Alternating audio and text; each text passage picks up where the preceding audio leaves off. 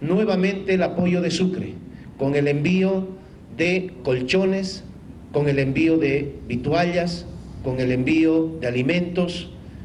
y que esto signifique un granito de arena de los hermanos de Sucre para quienes están en esta desgracia en Tarija. Toda la ayuda recolectada durante este pasado fin de semana en la ciudad de Sucre por la alcaldía y la gobernación de Chuquisaque se ha enviado a Tarija para que pueda ser usado y repartido a las familias damnificadas por el incendio en la reserva del Sama. Se ha recaudado en